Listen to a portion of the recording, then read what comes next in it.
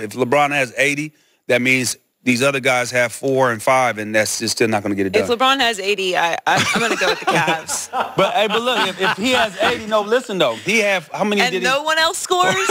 but if he has 80 and everybody else gets like two here, two there, they're gonna have what be like 103. Eddie, I thought you went a little crazy on the 80. no, I mean I went over the top I was, on that. I was with you. That was a little 40. extra. That was a little extra.